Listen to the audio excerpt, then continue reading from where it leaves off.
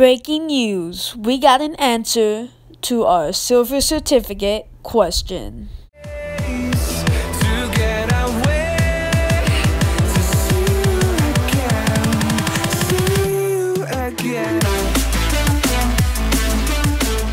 Hey guys, how you guys doing? So today I made a recent video about this interesting bill I got that had what looked like a T at the top right of the bill and the vertical line right above Washington's portrait. And I was wondering, did you guys know anything about this bill? And I was able to get an answer from no one other than Michael Kittle himself. And there was a pretty long reply, and there was a pretty interesting reply. So we'll go ahead and show you what it is. Yup, Kittle will know. You will find similar markings in the margin of other 1928A and 28B funny back silver certificates from plate position D.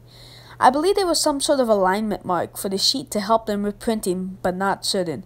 I just know they are often seen on the 28 and other notes from different plate positions can show different marks in the margins.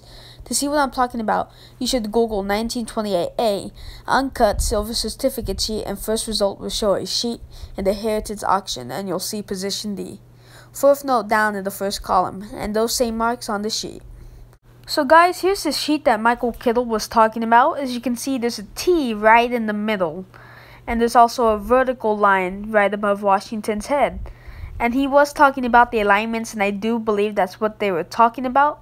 And if you can't see that, let me go ahead and give you a closer view. So here you go, guys. This is the closer view. As you can see, it's an almost complete match. And if I were looking at this, I would think that the top bill would have a very, very, very small bit of border. So that would be a pretty interesting note to get as well. But here it is, guys. We have our answer.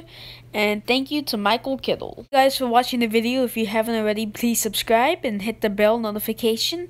And I also do live stream, guys. So if you guys want to go ahead and do that. And also, I made a presentation on all of the dollar coins collections for the US.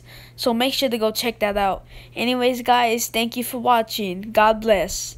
Happy hunting.